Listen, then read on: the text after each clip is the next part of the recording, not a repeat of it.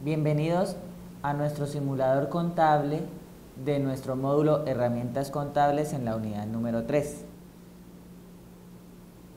En esta unidad vamos a aprender a contabilizar un comprobante.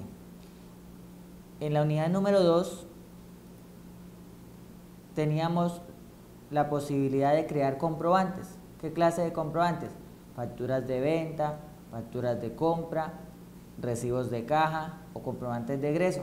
En esta oportunidad vamos a contabilizar uno de estos comprobantes en nuestro simulador contable. Para ingresar a contabilizar, ingresamos a nuestro menú principal, comprobante y damos clic nuevamente en comprobante. Él nos arroja una pantalla donde nos va a mostrar los últimos comprobantes que se han realizado en este software o que se hayan contabilizado. Para ingresar o contabilizar un nuevo comprobante, le damos nuevo. Luego, él nos pregunta la anualidad. La anualidad retomamos en el año que estamos trabajando, que para este caso sería periodo 2015. Le damos confirmar e inmediatamente él nos ingresa a la sesión de contabilización de comprobantes. ¿Qué nos pide él? Una mensualidad. Buscamos el mes en que vamos a trabajar. Para este caso vamos a trabajar en el mes 1. Para caso de ejemplo. Organización. Nos sale el nombre de la organización. En el caso de ustedes saldrá el usuario correspondiente asignado por la universidad para ustedes. Código o tipo de comprobante. En este caso, seleccionamos la clase o el tipo de comprobante que deseamos realizar. Para el ejemplo de nosotros, vamos a realizar un egreso. Numeración de comprobante. Numeración de comprobante. Mm, en el software, la numeración no se maneja, en este software la numeración no se maneja automática. En este software se maneja manual y para el caso de nosotros vamos a darle 0002. El comprobante 002. En este caso es el segundo comprobante que vamos a realizar. Fecha.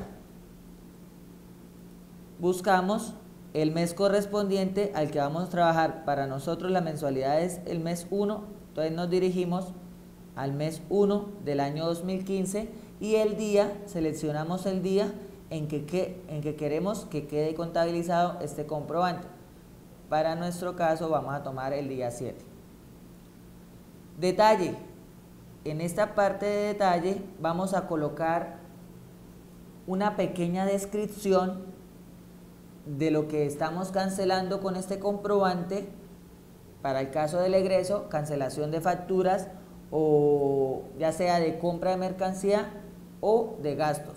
Entonces vamos a colocar cancelación, cancelación, factura número 1, 2, 3, 4, 5.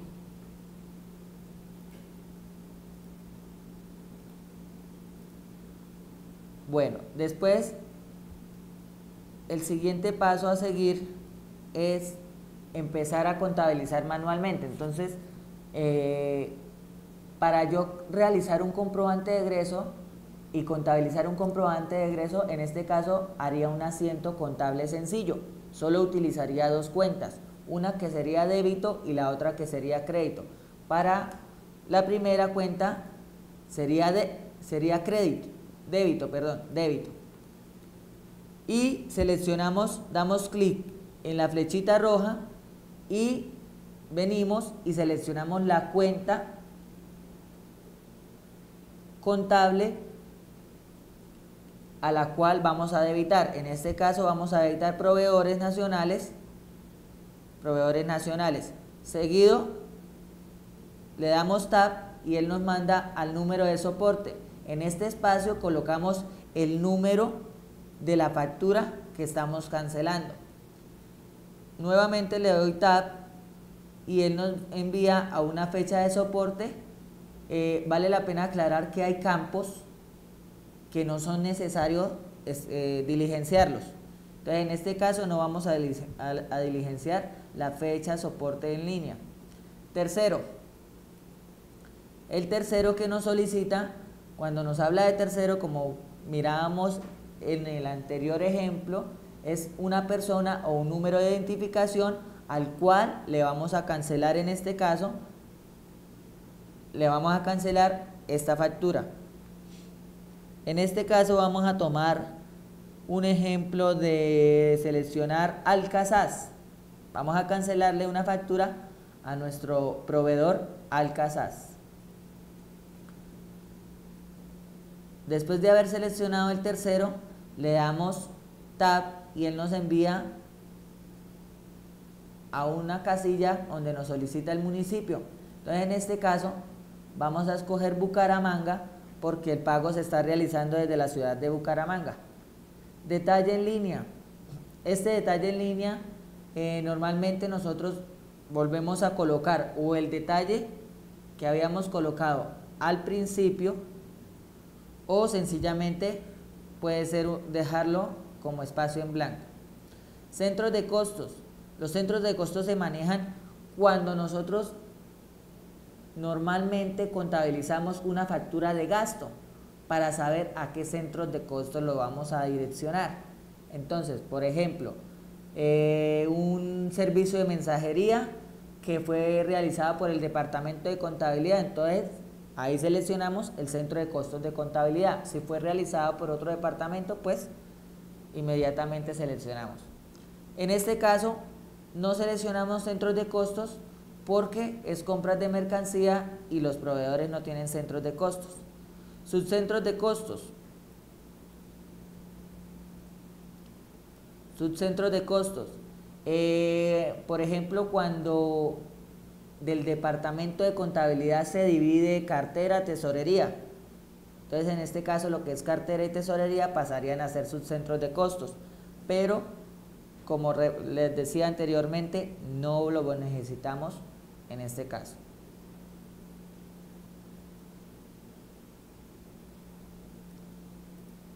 División prespuesta. En este, en este espacio no es necesario llenarlo debido a que a que no es indispensable. No, me trabé ahí.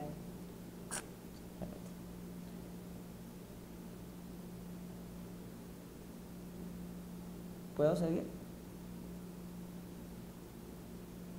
División prespuesta. Este campo no es necesario llenarlo. Eh, inmediatamente al hacer división prespuesta, que pues no es un campo en que no es necesario, nos dirigimos al valor. Ese en este valor vamos a colocar el valor que le vamos a cancelar a nuestro proveedor por concepto de pago de alguna factura. Entonces, para el ejemplo, vamos a poner 2.560.000. Base de retención.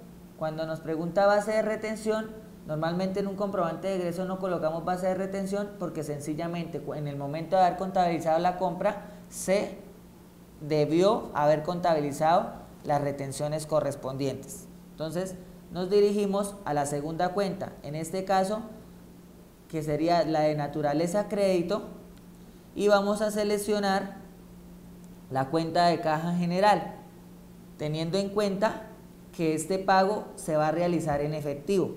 Entonces, nuevamente, nos pregunta el número del soporte, para el ejemplo 1, 2, 3, 4 y 5, eh, fecha de soporte en línea no es necesario, Tercero, en este caso la cuenta en, la, en la cuenta de caja no es necesario digitar un tercero debido a que el plan de cuentas en el grupo disponible no vemos necesario que esta cuenta sea a nivel de terceros. Entonces, por lo, por lo tanto, podemos seguir ciudad, volvemos y colocamos la ciudad en que se está realizando el comprobante, detalle en línea lo dejamos en blanco, centros de costos no seleccionamos porque sencillamente es un egreso, no estamos contabilizando un gasto y nos dirigimos al valor y ponemos la misma cifra, 2.560.000. En este caso, la contabilización del egreso ya se realizó. Ahora nos dirigimos ahora nos dirigimos a la parte inferior donde él nos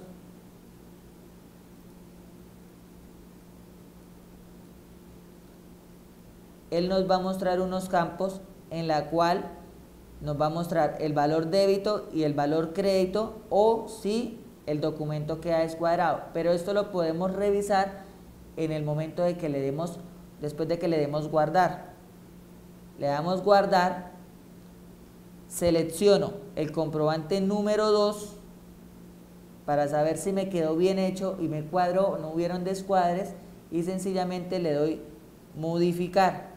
De esta manera yo puedo visualizar que mi comprobante quedó bien contabilizado, qué número de líneas se necesitaron nada más dos y que el comprobante no se encuentra descuadrado. Después de haber contabilizado un comprobante contable, él nos trae a la pantalla principal donde nos muestra el comprobante realizado. Para que este comprobante en el estado que se encuentra abierto, en este momento este comprobante no nos está actualizando auxiliares e informes. Entonces, para que este comprobante nos actualice la información dentro de estos estados financieros o dentro de estos informes, debemos seleccionarlo y dar clic en, en actualizar auxiliar. En esta parte damos clic y él automáticamente él automáticamente nos está cargando este comprobante a nuestros libros contables.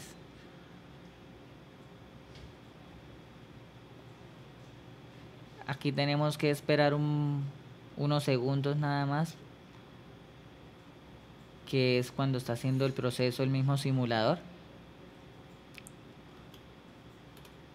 Para que lo hubiera cargado. Entonces, cuando ya nos cargó y nos actualizó los auxiliares y los libros, automáticamente el comprobante se elimina o se deja de visualizar dentro de los comprobantes pendientes o resultados de búsqueda.